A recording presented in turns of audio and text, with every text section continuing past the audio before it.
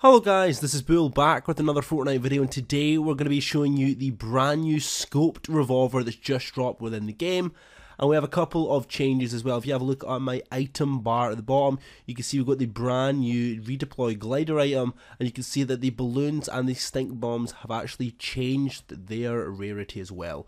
So we're going to be having a look at this scoped revolver right now for you guys and we're going to be seeing exactly how this is going to work.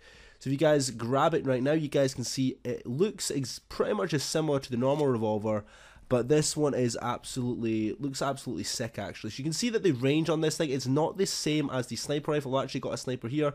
You can see that the zoom scope is kind of similar to the scoped AR um, um, in terms of its scope. So if we have a look here, you can actually see if we you can shoot it with a no scope. You don't need to aim down sight. You can see that it is, to be honest, you can fire this thing quite fast uh, which is quite interesting as well. We're going to be comparing it to the semi-automatic sniper. So it's, to be honest, it's pretty much the same. But it fires faster than the semi-automatic sniper.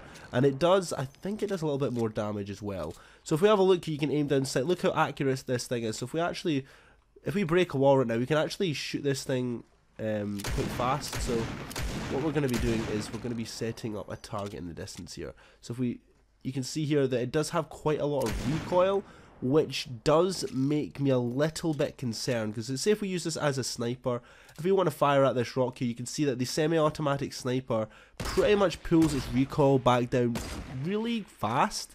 Now if we do it with the same thing with this revolver it takes a while to bring it back but you, you're going to have to adjust for this yourself. So it's going to require a little bit more skill in terms of you're going to have to basically pull down um, for the recoil of this weapon. Now, where I think this weapon is going to be effective is probably about medium range.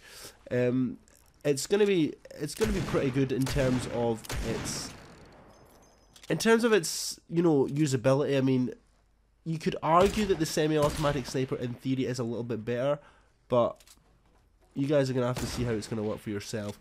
I personally will probably not use this weapon but due to the fact that you can see you can't really no scope with the sniper, but even though this weapon does have a scope, you can see that it's like third person reticule is still really small. You're really going to still be able to hip fire with this thing. You can see that the hip fire is actually really tight. So you're going to be able to definitely just run around corners and just no scope this thing.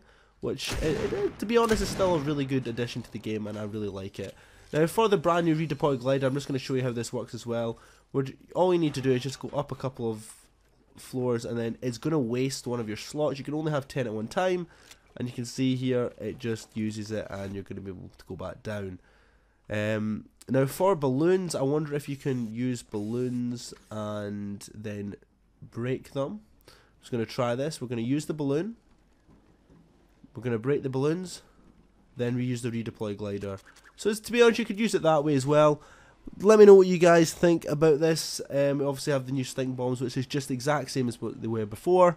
But um, that is pretty much it for the brand new scoped AR gameplay for you guys. Let me know in the comment section down below how you're going to be using this thing. I think it does about 46 damage or 48 damage a hit. So it is, if there's a 200 health target, it is going to take 5 shots, which is quite unfortunate. But anyway, hope you guys really enjoyed the video. Please leave a like, comment, and subscribe for more Fortnite videos like this. Thank you so much for watching, and I'll see you guys in the next Fortnite video. Goodbye.